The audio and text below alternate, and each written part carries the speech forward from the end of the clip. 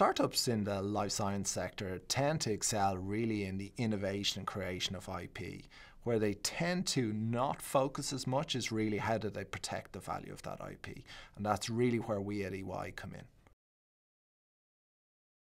The additional support a startup company really requires is really to take them away from their day job and understand how they might value their business, how they might actual raise funds to support that growth, looking at their actual the right ownership structure that both facilitates that investment but also allows them to optimize that value in a potential exit or indeed for future acquisitions that they might need to undertake. It also allows them to look at the various R&D incentives that might be available to really help with their growth profile.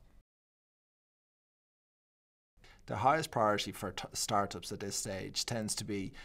getting them away from focusing on the day job of innovation and creation of their IP and really focusing on the long term future of their company and thinking about the things they should be doing today to create value in the future. And that's where we at EY and our global life science team can really deliver and add value.